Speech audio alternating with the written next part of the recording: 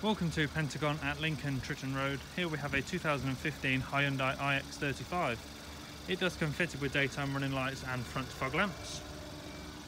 We have colour coded door mirrors and handles, privacy glass, 17 inch alloy wheels.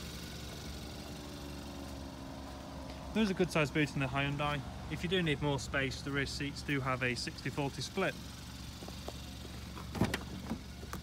There are rear electric windows, isofix tethers, front electric windows and electric wing mirrors.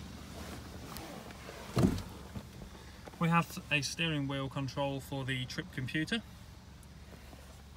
CD player, FM AM radio, air conditioning, heated rear windscreen, two 12 volt outlets, a USB port and auxiliary input. This is a six speed manual.